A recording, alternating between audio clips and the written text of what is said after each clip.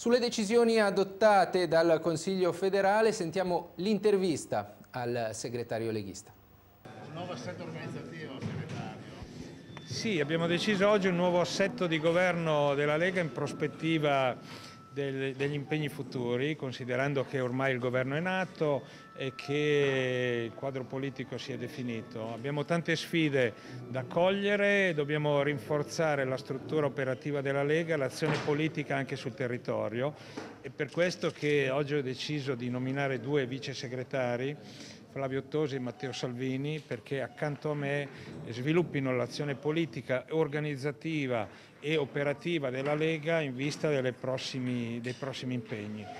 La costruzione della macro regione in primo luogo e l'impegno elettorale dell'anno prossimo, le elezioni europee, le elezioni amministrative, io penso anche alle elezioni politiche. Domani viene Alfano a Milano, cosa gli dirà?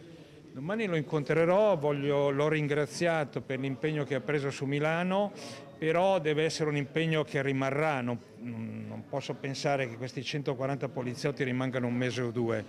Non c'è solo Milano però, io gli farò presente che stiamo sviluppando un piano eh, di ricognizione del fabbisogno di sicurezza, chiamiamolo così, in tutte le città della Lombardia dal punto di vista della sicurezza urbana.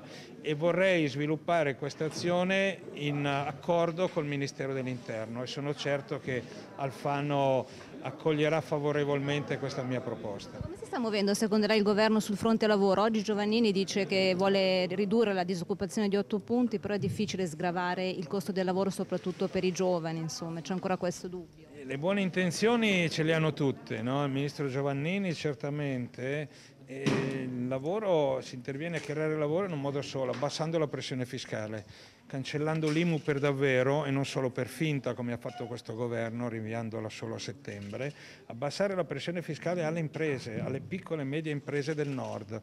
L'unico modo è questo, il resto sono solo buone intenzioni che purtroppo si scontreranno con il muro della realtà. Per quanto riguarda il gioco d'azzardo, la Regione è molto decisa ad andare avanti, a che punto è il disegno di legge?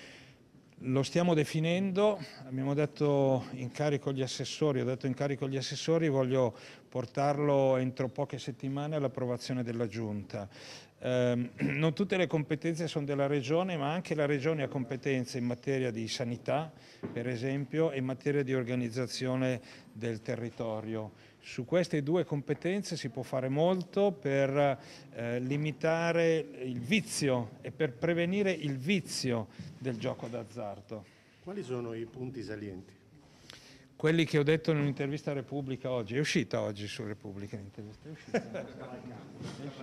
Ricapitolando, quali punti salienti? Eh. L'ho detto, l'intervento della Regione per uh, prevenire il vizio che rovina tante famiglie, che può portare anche a un, un atteggiamento patologico, ma soprattutto è, sono i soldi buttati da tante famiglie che rovinano i patrimoni di tante famiglie perché uno prende questo vizio e noi dobbiamo prevenirlo. Ci sono degli strumenti che stiamo approfondendo e che definiremo presto in un progetto di legge innovativo, la prima proposta innov così innovativa che fa una regione e sarà la Regione Lombardia a farlo.